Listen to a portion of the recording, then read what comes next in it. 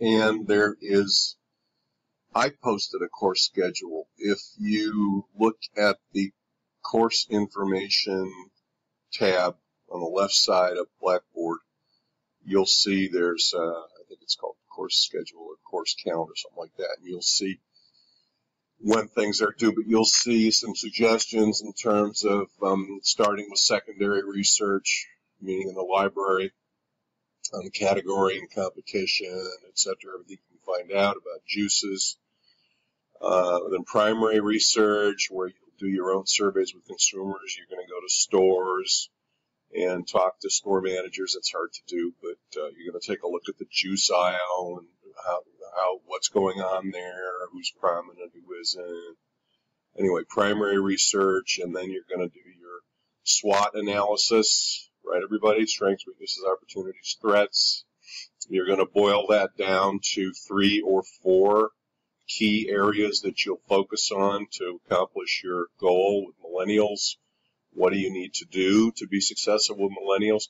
All this needs to be focused on winning millennials, not just building the business, but winning millennials. Anyway, there's a there's a calendar there, um, but I want you to look at that and send me your own calendar. No idea generation until you define and understand the problem. You do all your research, do all your learning, you do your SWOT, and then you know the problems, and then you why in other words, why aren't millennials drinking more ocean spray cranberry juice? What are they drinking instead? What do you have to do to change their minds and get them more interested?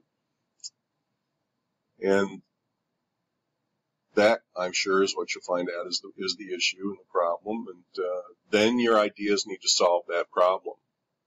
Not, you know, let's, uh, you know, jump off the George Washington Bridge and cranberry juice parachutes or something, you know, some wacky idea that has nothing to do with anything. Right, everybody? Uh, secondary and primary research is required, and it'll be part of your grade, quality of your research and how much you do. I want weekly meeting reports. I'm going to give you an agenda for that. I suggest you take turns writing those. Um, I have posted a grading rubric, which is what I will be looking at and how I will weigh each thing in the grading. And take a look at it. And um, your team is going to get one grade but then I'm going to ask each of you to rate all the rest of your teammates on one thing, which is contribution between one and five. Five being they made a great contribution. If I hear from a couple people on your team and you get a one, there's going to be a problem. Uh, it could really affect your grade. So you better kick in. Here is uh, what should be in your meeting reports that I'm going to get every week, and I had better get them. It's part of your grade. You're going to list attendees. You're going to indicate whether they were full-time or part-time in the meeting. Sometimes people come late and they miss things. Where and when the meeting was held. So if it's a virtual meeting or whatever it is, you know, give me the time and tell me on what platform you had the meeting. You're going to list key areas of discussion. One, two, three, four. What was agreed? We all agreed we'd do this. We all agreed we would put this off. We all agreed that we will focus on that, whatever it is. And then every meeting should have next steps so you move things ahead. Your team leader is going to help divide up uh, assignments and uh, everybody's going to kick in and the report needs to have who is responsible for doing what by when. I want it sent to me. I want it sent to all the members of the team, and typically whoever writes it asks for feedback or corrections. And if you don't get them, then that is the Bible in terms of what's happening with the team. And how do you start your next team meeting? You pull up the meeting report from the last team meeting, you go over it, and then you look at the progress on the next steps and go from there. So tell them what you told them. Tell them, tell them what you're going to tell them. Sorry, everybody. It's 5:47 in the. Tell them what you're going to tell them. Tell them. Tell them what you told them. And now this is my tell them what you told them. And that is we talked about offers. We talked about uh, LTV and CRM. I introduced your ocean spray case study and some next steps. And um, now, by the way, you're going to be getting feedback on your company presentations out of all this discussion and everything from that. And I gave you that assignment for a couple reasons. One, I wanted your teams to start right off the bat getting together on something you could do quickly so it would help form your team.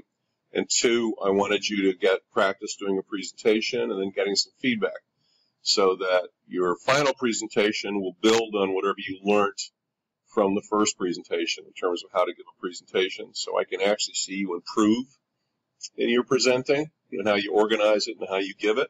Okay. Um, now, uh, also, please, for the next class, October 3rd, read chapter 24.